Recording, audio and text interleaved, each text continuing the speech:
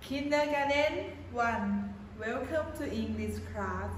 วันนี้เรามาเรียนภาษาอังกฤษกันอีกครั้งนะคะนักเรียน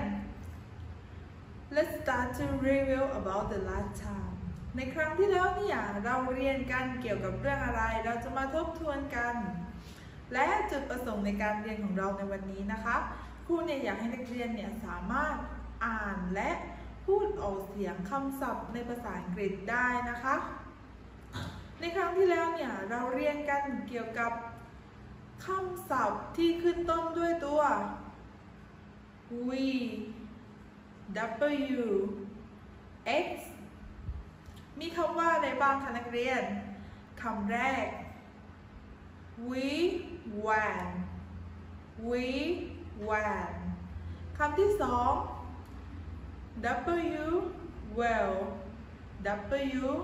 well X xylophone X xylophone van แปลว่ารถตู้ well ปลาวาน xylophone ระนาด Let's start to listen today วันนี้นะคะ เราเนี่ยจะมาเรียนกันเกี่ยวกับคำศัพท์ที่ขึ้นต้นด้วยตัว y z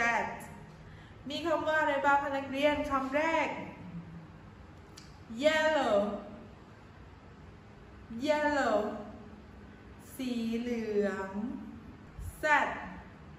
สู้สู้สวนสัตว์และอีกคำหนึ่ง zebra zebra ม้าลาย เรียนลองอ่านตามครูอีกครั้งค่ะคำแรก Why yellow Why yellow set สู้ set สู้ set zebra set zebra เก่งมากค่ะนักเรียน ต่อไปครูเนี่ยจะยกตัวอย่าง ประโยคนะคะนักเรียน ประโยคที่ครูจะยกตัวอย่างในวันนี้คือ I wear a yellow hat I wear a yellow hat ฉันสวมหมวกสีเหลือง Let's start to play game วันนี้เนี่ย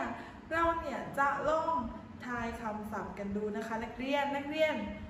ครูเนี่ยจะขึ้นรูปภาพตรงหน้าครูนะคะ และให้นักเรียนเนี่ยทายว่ารูปภาพนี้เนี่ยตรงกับคำศัพท์คำไหน นักเรียนดูรูปภาพตรงหน้าครูค่ะ เป็นรูปของอะไร และตรงกับคำศัพท์คำไหนระหว่างคำนี้และคำนี้ ตรงกับคำว่า zebra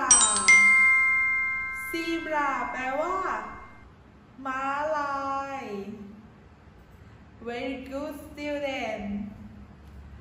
สำหรับการบ้านของเราในวันนี้นะคะ นักเรียนครูเนี่ยให้นักเรียนเนี่ยอัดคลิปท่องคำศัพท์ วันนี้เนี่ยเราเรียนคำศัพท์กันไป 3คำมีคำว่า yellow zoo zebra ให้นักเรียนเนี่ยเลือกมา 2คำและอัดคลิปส่งให้ครูในไลน์ส่วนตัวนะคะ สำหรับวันนี้เนี่ยครูขอจบคลิปการสอนไว้เพียงแค่นี้นะคะ Goodbye my students see you next time